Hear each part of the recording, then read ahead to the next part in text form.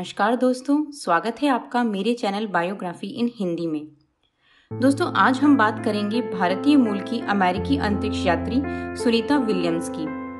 ये अमेरिकी नौसेना की अधिकारी हैं और वे अमेरिकी अंतरिक्ष एजेंसी नासा के ज़रिए अंतरिक्ष में यात्रा करने वाली भारतीय मूल की दूसरी महिला है। इन्होंने एक महिला अंतरिक्ष यात्री के रूप में एक दिनों तक अंतरिक्ष में रहने का कीर्तिमान स्थापित किया है। तो आइए जानते हैं उनके जीवन के बारे में। लेकिन उससे पहले यदि आपने मेरा चैनल सब्सक्राइब नहीं किया हो तो उसे सब्सक्राइब करें और मेरी वीडियो की नोटिफिकेशन के लिए बेल का बटन दबाना ना भूलिएगा। सुनीता विलियम का जन्म अमेरिका के ओहायो राज्य के यूक्लिड सिटी में 19 सितंबर 1965 में हुआ था। इनके पिता डॉक्टर दीपक पंड्या उन्नीस में भारत से अमेरिका चले गए थे। इनकी माता उर्सिलिन बोनी पंड्या, स्लोवेन अमेरिकी मूल की हैं। सुनीता के पिता का संबंध भारत के गुजरात राज्य के महसाना ज़िले से है और सुनीता की माँ का संबंध स्लोवेनिया से है। सुनीता ने मैसाचुसेट्स के निधम हाई स्कूल से सन उन्नीस सौ तिरासी में स्कूल की पढ़ाई की और सन उन्नीस में यूनाइटेड स्टेट्स नेवल अकेडमी से फिजिक्स साइंस में ग्रेजुएशन किया। इसके बाद उन्होंने फ्लोरिडा इंस्टीट्यूट ऑफ़ टेक्नोलॉजी से उन्नीस में इंजीनियरिंग मैनेजमेंट में मास्टर्स किया। सन उन्नीस में सुनीता विलियम्स को उनकी पढ़ाई और परिश्रम के बल पर यूनाइटेड स्टेट्स नेवी में कमीशन अधिकारी की पोस्ट मिली। और नेवल कोस्ट सिस्टम कमांड में छह महीने के टेम्पररी असाइनमेंट के बाद उन्हें बेसिक डाइविंग ऑफिसर बनाया गया। सन उन्नीस सौ नवासी में उन्हें नेवल एयर ट्रेनिंग कमांड भेज दिया गया, जहाँ उन्हें नेवल एविएटर नियुक्त किया गया। इसके बाद उन्होंने हेलीकॉप्टर कॉम्बैट स्पोर्ट स्क्वाड्रन में ट्रेनिंग ली और इन्हें नॉर्फोल्क, वर्जीनिया में अपॉइंट किया गया। इसके साथ उन्होंने भूमध्य सागर, रेड सी और पार्शियन गल्फ में ऑपरेशन डेजर्ट शील्ड और ऑपरेशन प्रोवाइड कंफर्ट के दौरान कार्य किया। सितंबर उन्नीस में उन्हें एच छियालीस टुकड़ी का ऑफिसर इंचार्ज बनाकर मियामी भेजा गया। इस टुकड़ी को हरिकेन एंड्रयू रिलीफ ऑपरेशन के लिए भेजा गया था।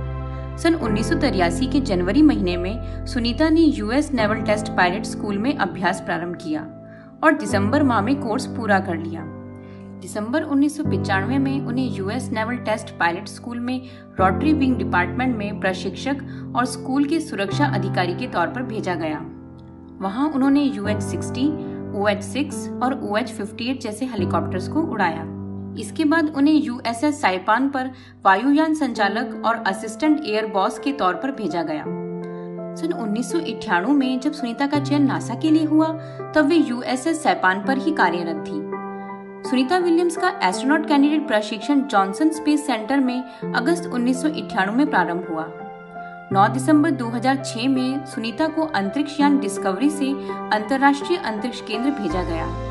जहाँ उन्हें एक्सपीडिशन चौदह दल में शामिल होना था।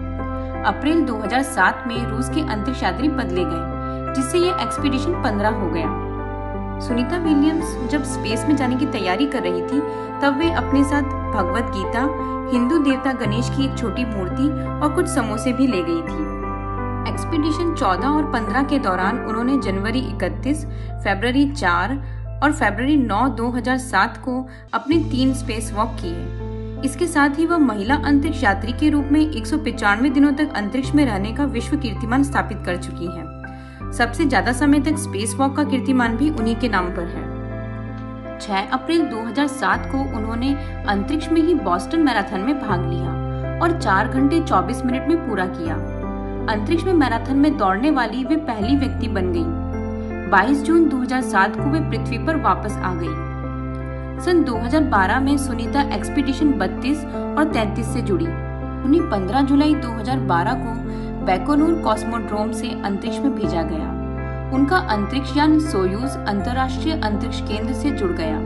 वे 17 सितंबर 2012 में एक्सपीडिशन 33 की कमांडर बनाई गई। ऐसा करने वाली वे सिर्फ़ दूसरी महिला हैं। सितंबर 2012 में उन्होंने अंतरिक्ष में त्रेथलो करने वाली वो पहली व्यक्ति बनी। 19 नवंबर को सुनीता विलियम्स पृथ्वी पर वापस लौट आई। मार्च 2016 तक विलियम्स ने 50 घंटे और 40 मिनट के लिए सात स्पेस वॉक करे हैं।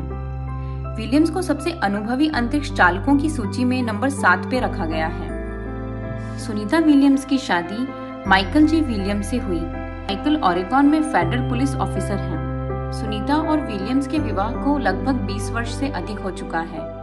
और दोनों अपने करियर के शुरुआती दिनों में हेलीकॉप्टर उड़ाया करते थे। विलियम्स ने अपने कार्य क्षेत्र में उपलब्धियों के लिए कई सम्मान भी प्राप्त किए हैं 2008 में भारत सरकार ने सुनीता विलियम्स को पद्म भूषण से सम्मानित किया है। 2013 में गुजरात विश्वविद्यालय ने डॉक्टरेट की मानद उपाधि प्रदान की है।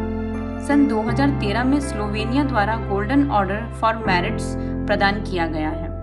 तो दोस्तों, ये थी एक होनहार और काबिल भारतीय मूल की अमेरिकी अंतरिक्ष यात्री सुनीता विलियम्स की जीवनी।